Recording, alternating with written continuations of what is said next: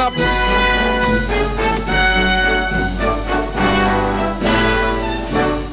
Wo ist deine Kappe? Jemand hat sie mir gestohlen, Herr Schafführer. Pech gehabt. Ohne deine Kappe hast du hier nichts zu suchen.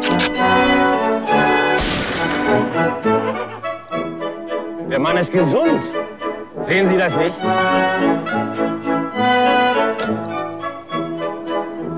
Wenn Sie schon eine Kugel verwenden, dann tun Sie es mit Bedacht. Mütze!